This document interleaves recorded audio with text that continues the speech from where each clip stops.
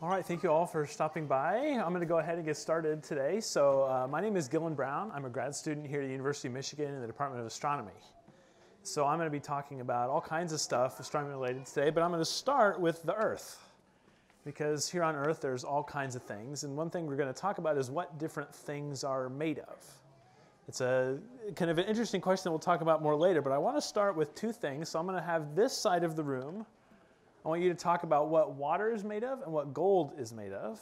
You might know the answers to these. And then this side of the room, I'm going to have you talk about air and then aluminum foil. So talk amongst yourselves for like 10 seconds, 30 seconds, and then I'll ask you if you have any ideas here in just a second. So, water? Water, yeah. Oh, oh. you get to use the mic, whoever wants to. It's made of hydrogen and oxygen. Cool. What about gold? It's made of gold. Made of gold, oxygen. That's a trick question. All right. Now, you all, do you have an idea of what's in air? Anyone want to volunteer? Oxygen. Oxygen? You say it into the microphone. Oxygen. Awesome. That's true. You know anything else that's in there? There's all kinds of stuff. Water? Cool. So, yeah, those are all great answers. And kind of, oh, did you talk about aluminum foil too? Do you know what's in aluminum foil? That's also a trick question. Say that again? Minerals. Minerals. Okay, good. That's true. You guys know? What's in aluminum foil? Yeah. Aluminium. Aluminium, exactly. Aluminum is made of aluminum. So, kind of the point of this is that some things are made of other things, like air, it has all kinds of stuff in it, but some things like gold are just, they're not made of anything more. They're just what they are. And so, what we can do as scientists is make a list of all the things that are what they are, like all the things that are like gold or like aluminum that we can break other things down into. And so we can do that, and it turns out that we can put our list into a big table like this, where this is a list of all the elements, we, we call them elements that different things are made of. So I see you pointing out some things. I'm going to point some out too. And that this water that we talked about, it's made of hydrogen, which is the number one in the very top left and oxygen, which is number eight here. So water is just two of these things. You put them together and you get water. Air is a mixture of all these other things. So we said water vapor. So that's you get your hydrogen, your oxygen. You get some oxygen. There's also things like carbon dioxide. So that is that C and the O. And then there's lots of nitrogen in the air too. Most of the air is actually nitrogen, this element N up there. And then there's also a little bit of argon which is another gas that you may not hear about that I didn't realize was in the top five or six, but it is. And there's all kinds of other stuff too that I didn't put on here. But this is just some of the few things that are in air that we can break it down into. While gold is uh, number 79 here, has a weird symbol, AU. It's some Latin name. And then uh, aluminum, it's its own thing also, number 13 up there. And so the idea behind this is that you can break things down into similar things uh, things that can't be broken down any further that we call elements. And so, with all these elements, the question that I'm kind of asking in this talk is one that you may not even think to ask, and that's where did these elements come from? If we have aluminum or we have gold, how did we get that gold in the first place? Where did it come from? So, as an astronomer, what I can do, or other astronomers can do more accurately, is to look at the very beginning of the universe to see what was around when the universe started, right after the Big Bang. So, we know how that worked. We can do the math and figure out what elements there were. And it turns out there were only these first two. There was only hydrogen that was in part of water and helium, so balloons. So we could have had balloons after the beginning of the universe, but basically nothing else. We couldn't have air, right? We don't have oxygen. We couldn't have aluminum or gold. So these had to be made somehow throughout the history of the universe. And so how does this happen? Well, it turns out galaxies are a big part of this. And this is kind of what I want to talk about next. So galaxies are beautiful things. They have, there's these spiral galaxies. There's several examples here I'm going to show. But there's a huge variety of galaxies. So they have different colors from one another, slightly different shapes. There's a ton of these beautiful spiral galaxies. I could show a million pictures of these, and I have quite a few here. But you can also notice the different colors. Some of these are because of the way the picture was taken, but galaxies really are different colors from each other. You have some that are different shapes. This one's a little more fuzzy in the center than some of the other ones were. Then you have some like this that are just basically a big ball of stars without these nice, pretty spiral arms like other galaxies have. Some of them have these like shells around them almost. A bunch of weird shapes that galaxies can have. You have ring shaped galaxies. Really, the, the variety of galaxies is endless. But I want to kind of transition into what galaxies are made of. So we talked about what stuff on Earth is made of. And what we can do to look at galaxies is to zoom in on them. So this is a picture of uh, a nearby galaxy. This is the Andromeda galaxy. It's the closest big galaxy to us in the Milky Way. Um, and this is a picture of it taken with the telescope on the ground, like the one there on the left. And we're going to zoom in on it as far as we can. And you can see that it starts to get blurry. You can't really see as much as we might like. And that's because we're on the ground. There's the air between us and the stars, and it basically blurs out the image. So what we can do to fix that is to go to a space telescope like Hubble Space Telescope, you might have heard of that, and it can see a whole lot more than telescopes on the ground. You can see them in much sharper vision. And so we zoom in, and the closer we get here, you'll start to see that what was kind of a fuzz earlier is actually a ton of individual stars like our sun. And even though stars are like our sun, you can see there's a variety of stars too. Some are red, some are blue. I'm going to pause this real quick. But you can see some red stars, some blue stars, some are brighter or fainter than others. So there's a huge variety of stars that exist in galaxies, but really, galaxies are made of stars. And stars do all kinds of interesting things. So stars have their own life cycle, kind of like humans do, in that they are born and then they die. And so we're going to walk through all this whole life cycle here because it tells us about how elements form, which is kind of the goal of our talk here. But I want to start with this how stars form in the first place. So they form in these things that we call a nebula. It's basically a big cloud. These are a couple of examples you might have seen before, where it's a bunch of hydrogen gas basically that's has gravity that's basically pulling it together. And in some spots, if you look really closely with Hubble Space Telescope, you can see these little stars are about to form, these little tiny clumps. So here are some more examples this big cloud is made up of little smaller clouds. These are all individual stars as they're about to form. So gravity turns this giant cloud, this beautiful, into these individual stars. And so you get stars out of this process. And on this diagram, we basically split them into small stars like our sun. Even though our sun is huge compared to the Earth, it's smaller compared to other stars out there, and big stars. And we'll go through these both because they're both super interesting, but let's start with stars like our sun because that's what we're most familiar with. So the sun shines, it gives us light that lets us live, but the sun is powered by this thing we call nuclear fusion, where you're basically taking elements and smashing them together. So in the center of their sun, there's lots of this element we talked about earlier called hydrogen. And if you take a bunch of hydrogen and smash it together really hard, harder than you could possibly do as a human, you can turn it into the next element called helium.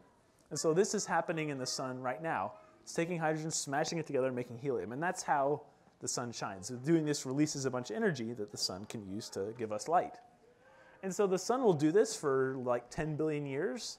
And then once it's done, it basically runs out of hydrogen. It'll do another thing or it takes three heliums, smashes those together, and you can get carbon, another atom on this table that we talked about too. So this powers the sun for a while. And what's interesting is that we took hydrogen that was around at the beginning of the universe and we turned it into carbon, which was not. So, this process of stars powering themselves is how you get all these other elements that are out there in the universe.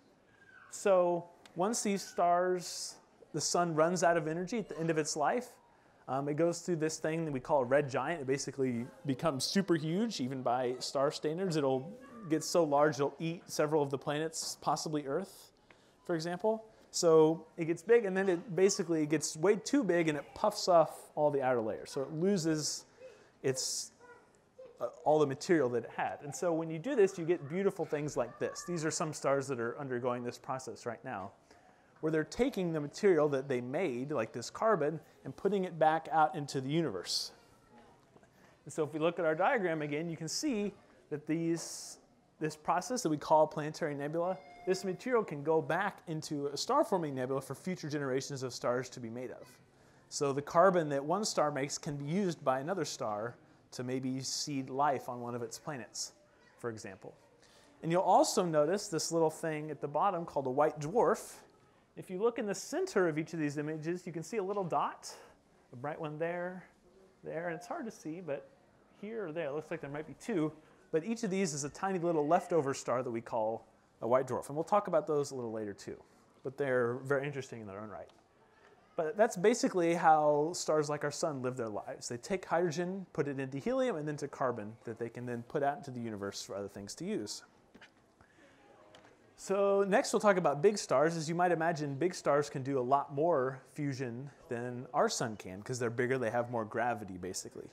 So for example, they can do the same stuff our sun did, but then they can keep going.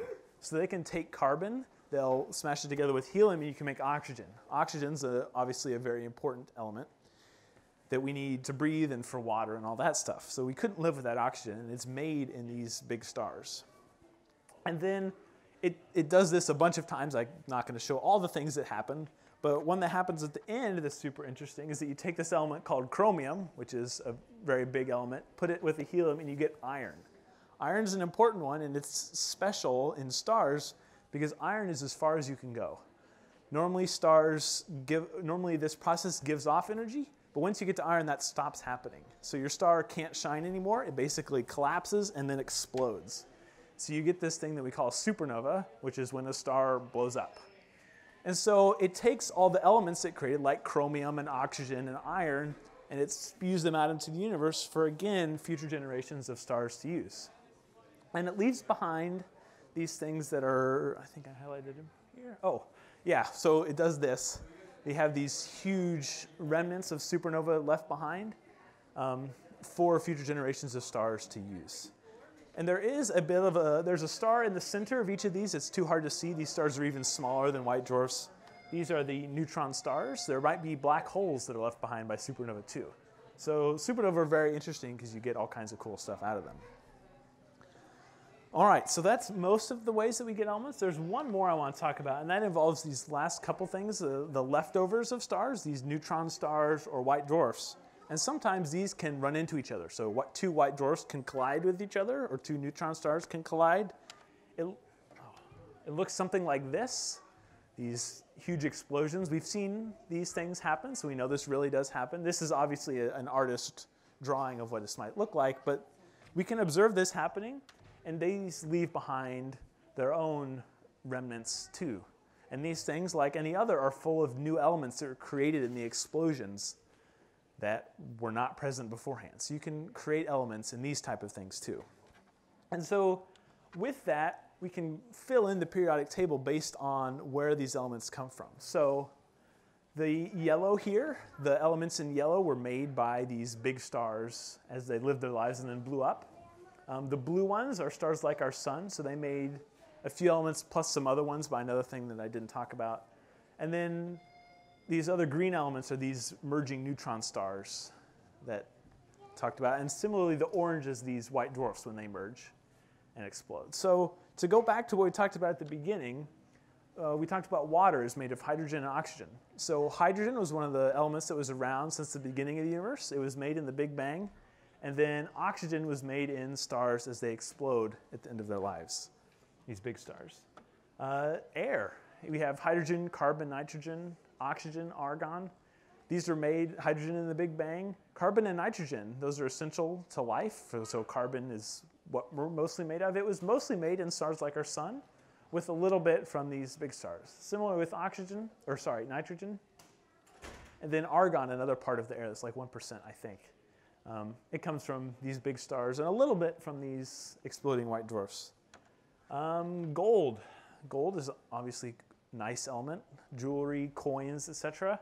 Those comes from these two neutron stars as they collided. So if you have a piece of gold jewelry, that's a leftover of two stars as they collided and blew up. And that's really cool to me that you, you have something that is a remnant of something that happened in space. And our whole bodies are really made of things that happen in space. So we ha- we're really connected to the universe in a way that you might not have thought of before. And then our last one, aluminum, it was another one that's made in these big stars. So big stars are really super important for a lot of what happens in the universe. And this kind of ties into what I do as an astronomer. I am interested in how elements are put into galaxies and where they are in galaxies. And one that we use a lot in astronomy is oxygen. We've talked about oxygen quite a bit. This is element number eight. And one thing that we can observe about galaxies is something like this. So this is a little diagram that I made. So on the left we have a small galaxy, on the right we have a big galaxy. And I put a false color on here to basically color code the amount of oxygen at each point in the galaxy. So red means there's a lot of oxygen at this point. Blue means there's not a lot of oxygen at this point. And so there's a couple things you might notice about this. Anyone want to volunteer anything they see happening? Yes. Let me get the microphone. The red presents more oxygen. Good. And- and which- galaxy. Yes, and which galaxy has more? The big galaxy. The big galaxy, exactly. Awesome. So the big galaxies have more oxygen than small galaxies. Why is this the case? We don't really know. There's, we can do a lot about it, but it's still an open question. Um, what about like the center of the galaxy compared to the outside? And then the center of each galaxy has more oxygen than the outside as well. So if you look on the big galaxy, for example, it's, it's red in the center and kind of fades to bluish on the outside. And so this is a thing that we can observe. The center of galaxies have more oxygen than the outside. Why is this the case? It's not easy to think about how this would happen. And so what I do is run computer simulations of galaxies. So this is an example. Uh, this is not my movie. It's a movie someone else made. It's beautiful though, which I like to use it. So what you basically do is put all the rules you know about how galaxies form into a computer. So we know gravity is important. We know that stars form. We know that galaxies merge. All these things. And when you do this, you put them in the computer and have it solve all these equations, and you can get out a galaxy that's pretty realistic in a lot of ways. So here we're flying through a galaxy to look at it as it spins around, basically. And so what's nice about these computer simulations is that we can't observe this in real life. This takes millions and billions of years to take to do this process. But in a computer, you can look at it in a movie in 30 seconds like this. And so we can really see how galaxies change over time in a way that we can't otherwise. And we can use this to learn about how galaxies formed. So I'll play this again here. And so this is what I do. I basically put oxygen into these simulations, tell it track how much there is, and then we can compare to the, the real galaxies we observe to see if our answers are right or not about how we think this happens. And then we can learn about the processes that make more oxygen be in the center than the outsides, for example, or um, big galaxies to have more oxygen than small galaxies. These are the kind of questions we're asking by doing these computer simulations. So once this finishes, I will leave it here and I will take any more questions. Thank you all.